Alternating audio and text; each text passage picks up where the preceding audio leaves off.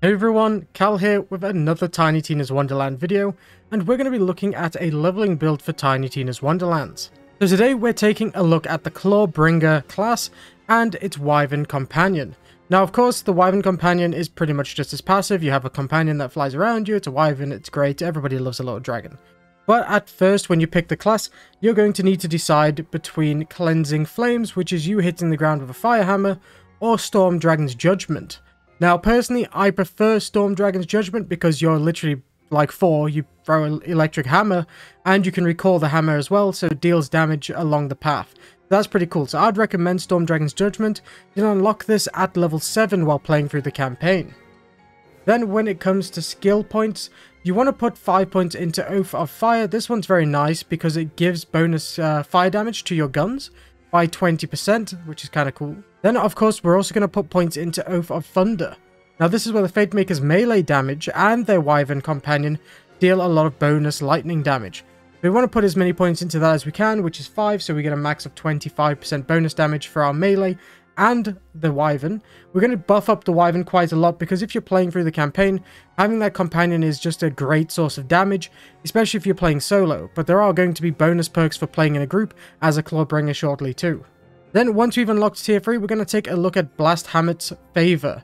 Now this is pretty cool because killing an enemy with a gun or whenever the Wyvern companion kills an enemy will also summon a fire orb that seeks out and damages enemies with fire ability damage. Now, I've had a curse in the Chaos Dungeon where it's an ice orb, but it follows me, and I can tell you now these orbs do incredible amounts of damage, so a fire orb that seeks enemies is going to be pretty insane. Now, if you kill an enemy with a melee damage, or the wyvern kills an enemy with its claws, it summons a lightning orb instead. So there's a lot of difference between like fire and lightning with this class, and that's kind of a real selling point for me, I think. To put a point into Blast Hammer's favor. Then we're going to go back up to Dragon Aura and put 5 points into this. This increases the elemental damage by 20% around us in like a certain range. So that's also giving you buffs to yourself and to allies you're playing with. So if you're a solo player, you're getting 20% elemental damage, and your friends are as well if you're playing together. Then we're going to go down to the very bottom tier that we can actually put points into, and this time we're going to go with Firebolt. Here the Wyvern Companion will occasionally shoot Firebolt at enemies, causing fire damage in an area on impact, and dealing fire damage over time, obviously because it's burning the area, and it does quite a lot of damage. Firebolt damage is 809, the cooldown 16 seconds, but you also get 8% gun damage, and that's awesome. And then we're going to go to the right and go to Storm Breath. The Wyvern Companion will occasionally use its Lightning Breath on enemies, dealing lightning damage that can arc from enemy to enemy. So it's chain lightning from the Wyvern's breath.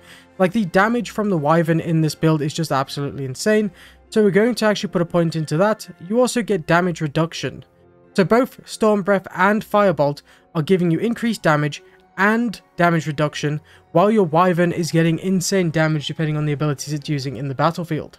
Then, because we've already been buffing the companion, I want to put 5 points into Friend to Flame. This increases the Wyvern companion's damage dealt by 100%. This is obviously a must-use or a must-fill perk set when using the Wyvern and buffing it up for this leveling build. And then we're going to go down to the ability called Awe. After dealing fire damage, the Fatemaker gains increased critical hit damage for a short duration. And then after you deal lightning damage, the Fatemaker also gets critical hit chance for a short duration. We want to put points into that, and again, as many as we can. And that will give us 15% critical hit damage, 33% critical hit chance, and it's on a 12 second duration. Now we're going to also talk about Indomitable. This perk is absolutely incredible.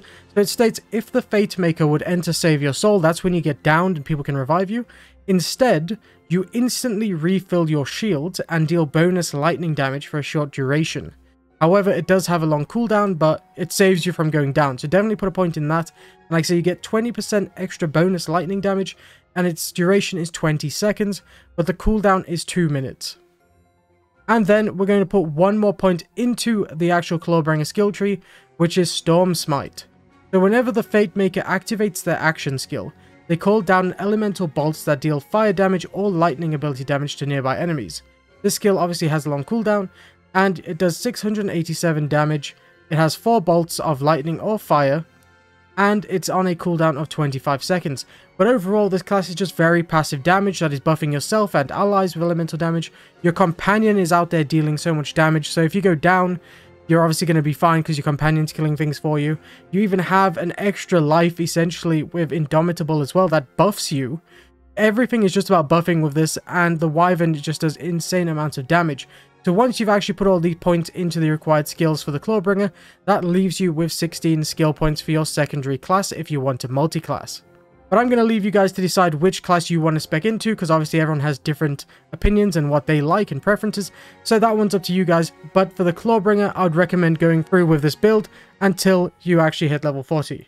But hopefully you now have an understanding on how to build the Clawbringer, and as usual, our guide here is to give you the best guides that are quick and let you jump straight back into the game. So if you like that, then hit the like button and subscribe for more Tiny Tina's Wonderlands.